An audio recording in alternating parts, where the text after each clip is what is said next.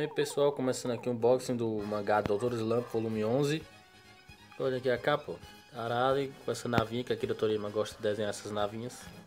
Atrás do volume. A lombada, temos o porquinho e o gachan. Aqui a Akira Toriyama falando que gostava de ter vários animais, ele tinha vários né? Aqui os capítulos. Aqui os passarinhos que ele ele disse que tinha Esquadrão de Lentes. Comecei esse capítulo aqui com a família dos Tsum. O velho tarado aqui, né? Tenta encostar na bunda da, da, da esposa do Sembi, só que ela tá uns pratos se protegendo. Ele vai lá e acaba encontrando um óculos que o Sembi tinha inventado que tava pra ver por baixo das roupas.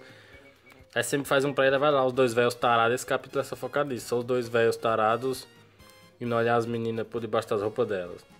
Até que eles vão andando sem perceber nada. Que o óculos eles vê todo mundo pelado. Eles vão andando até chegar numa casa de banho.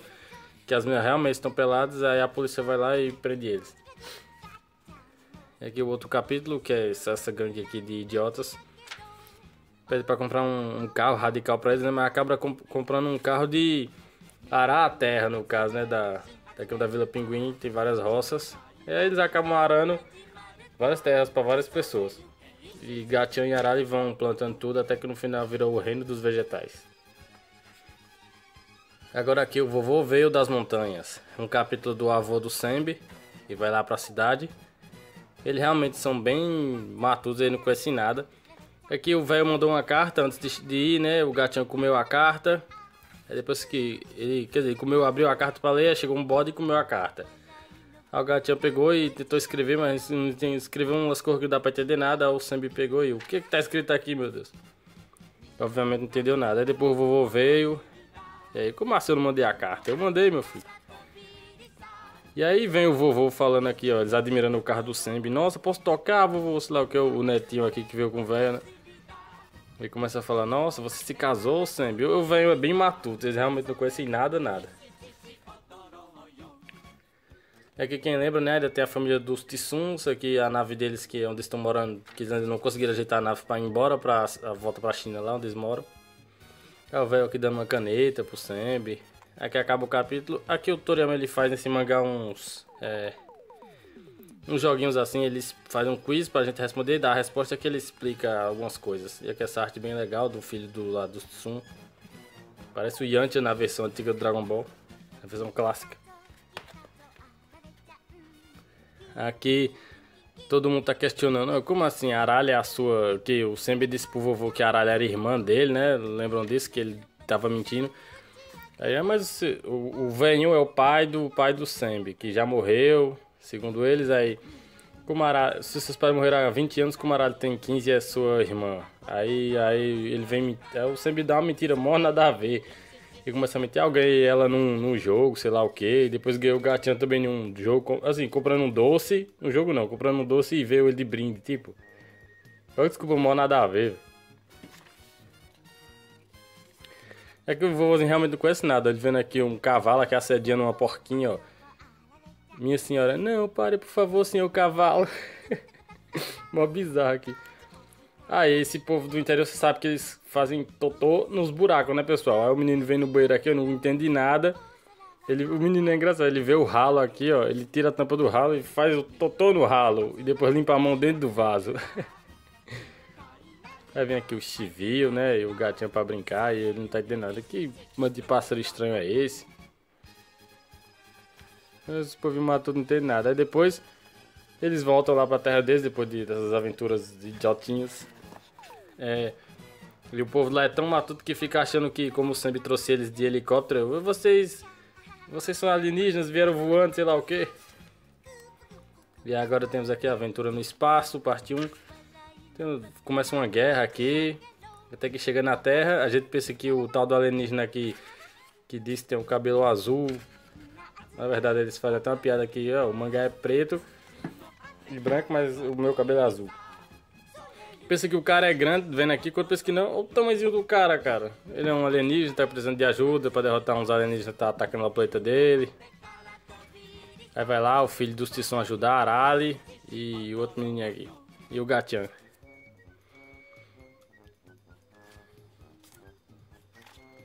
Cadê eles? Vão lá, viajaram não sei quantos anos luz aqui pra chegar rápido. É engraçado, o, o alienígena chega aqui e vê tudo destruído, a esposa dele no chão, e meu Deus, minha esposa, mataram minha esposa, na verdade a mulher tava dormindo, tipo, como assim você dormiu? Sendo que o planeta tá todo destruído.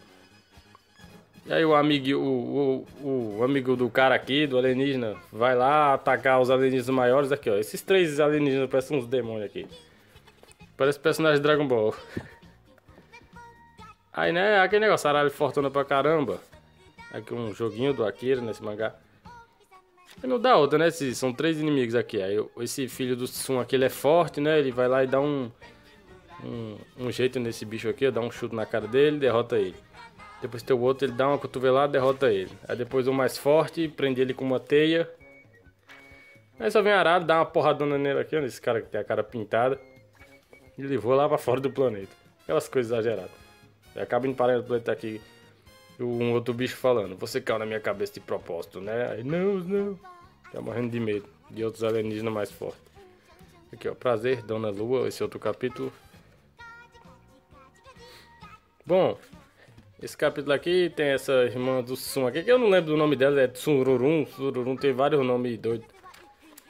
Ela tá duvidando aqui que Arali e Gatia vão escorregar no tempo, né? Com aquela maquinazinha. Ela pega e vai junto. E aí acredita, eles voltam lá no passado. Vamos ver, tem Mamute aqui, Homem das Cavernas.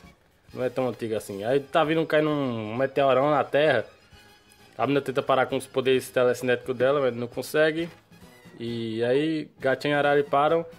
E aí a Arali ela dá um bicudo, bate a cabeça na. Gatinha segura, é tipo a lua que tá caindo na Terra que antigamente, na lógica aqui. É, Gatinha segura, Arali dá uma cabeçada.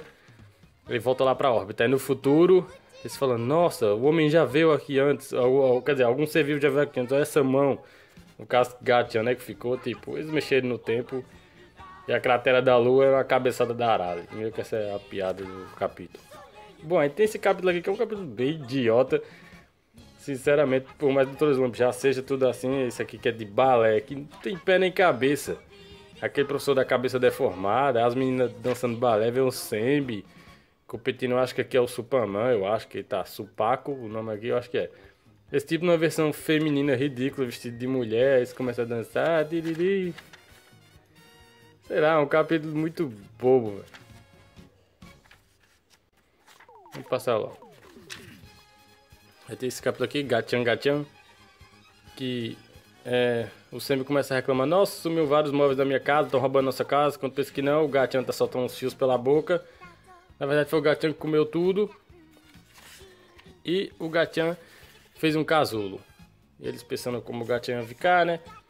Quando pensa que não, na, dois Gatians. É isso que eu sempre quis saber, a origem desses dois Gatians. Que até onde eu vi no anime Dragon Ball Super que eles apareceram, né? E o anime antigo. Sempre havia dois Gatians, eu nunca soube a origem, mas agora eu sei. Gatian simplesmente fez um casulo e aí saiu dois. Lógica para isso? Não tem nenhum. Não tem explicação nenhuma. É... Vamos ver esse outro capítulo aqui. Que é o Sembi sonhando aqui. Os dois gatinhos aterrorizando ele, jogando cocô nele.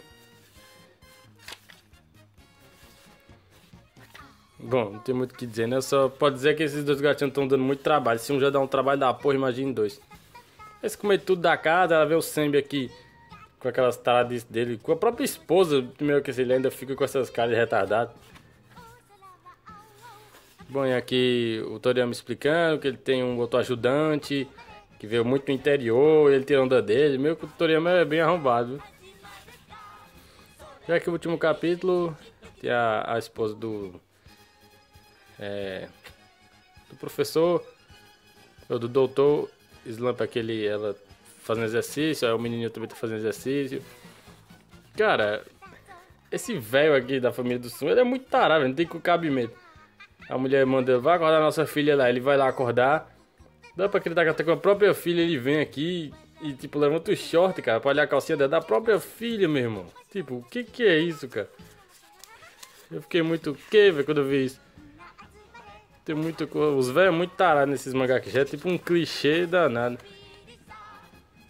Esse é o povo que estranhando o quê? Dos gatinhos? O que que tá acontecendo? É o professor cabeçudo aqui também. Ah, meu Deus, eu tô vendo por dois. E é isso, os gatinhos eles começam a comer a terra, né? Pra parar de comer a casa. Eles começam a comer tanto o chão aqui, tipo, descendo até que sai, sei lá, uma água quente. É, água quente, que aqui tá todo mundo, tudo inundado aqui no capítulo. Aí acaba. É isso, pessoal. Dos brasileiros é aquele mangá de humorzinho, sem pé na cabeça, não dá pra levar nada a sério. Fazer o que, né? Isso aí, deixa o like se gostou do vídeo, se inscreva no canal. Curta a página aí do Unboxing League no Facebook. Veja o blog aí, unboxingleague.blogspot.com. E é isso aí, valeu!